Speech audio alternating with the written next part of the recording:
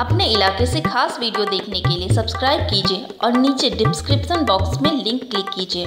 से चेतगंज थाना अंतर्गत कल चौबेपुर से दो व्यक्ति जा रहे थे जो कि गार्ड के हाथ बंदूक साफ़ करने की वजह से बंदूक से गोली की छर्रे निकल के दोनों पति पत्नी को लगा। उसमें 10 साल का बच्चा भी था जो कि बाल बाल बचा। वो तुरंत ही नज़दीकी अस्पताल सिंह मेडिकल में उसको भर्ती कराया गया। उसका इलाज चल रहा है। गार्ड को पकड़ हिरासत में ले लिया गया है। बहन के यहाँ बहन के साफ़ कर दल बंदूक पता नहीं किसी चल गया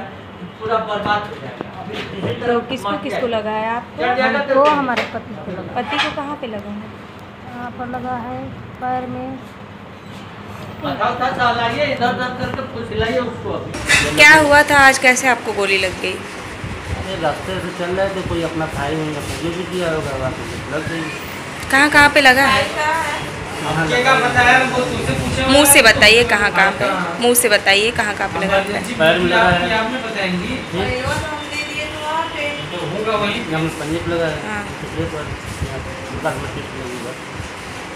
तो गोली छू के मतलब छटक गई? छटक गई अच्छा। बंदूक बोलो कितने बजे की घटना है? ग्यारह बजे। आप लोग कुछ कार्रवाई करने वाले हैं या मतलब नहीं कार्रवाई कोई नहीं करेंगे। अपना दवाई कर लेंगे। तो कैसे पता चला कि आपके भाई को गोली लगी फ़ोन किए थे ये मोबाइल पे फ़ोन किए कि हमको छर्री लग गया है तो हम लोग तुरंत आए। तो यहाँ पे डॉक्टरों से बात हुई तो वो लोग क्या बोल रहे हैं? उस समय तो तुरंत इनका बस ट्रीटमेंट हुआ थोड़ा बहुत जो पट्टी सट्टी बांधे। और तो अभी कुछ बात हुआ नहीं है तब से पता लगा कि जो गार्ड साथ में जो जिससे से गलती हुआ था वो साथ इनके आया था। ट्रीटमेंट क्या तब ले पुलिस आ गए उसको लेकर पकड़ के लेकर चले गए। अगर हम लोग चाह रहे हैं कि नहीं तुम्हारा ट्रीटमेंट हो जाए तो पैसा दे दिए इसका ट्रीटमेंट हो जाए काम खत्म हो। दुनिया भर का फ़ाइल करने का बताएँ कि कौन ज़िम्मेदारी अगर कोई बात हो गया तब कौन कह रहा है? यही सर जो हरिशंकर सर अगर कोई बात हो जाए तो हम लोग को देना होगा। तो वो जो प्रक्रिया है वो तो हमको करना ही पड़ेगा। तो हम कहे, ठीक है सर मानिए प्रक्रिया आप करिए। तो आप लोग क्या करने जा रहे हैं? एफ़ दर्ज कराएँगे? को उसके खिलाफ मुकदमा दर्ज कराएँगे या नहीं? आई नहीं करवाना चाह रहे थे हम लोग। अच्छा।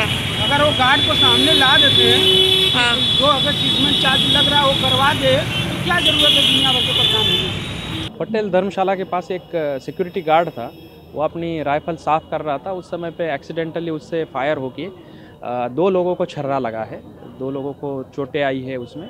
पत, उसमें पति पत्नी भी थे ये और उनको हॉस्पिटलाइज किया है वो आउट ऑफ़ डेंजर है उनको छर्रा लगा है सामान्य छोटे हैं और ट्रीटमेंट चल रहा है। बाकी गार्ड को पकड़ लिया गया है उसका वेपन भी बरामद कर लिया है और अभियोग पंजीकृत करके इसमें कार्रवाई की जा रही है।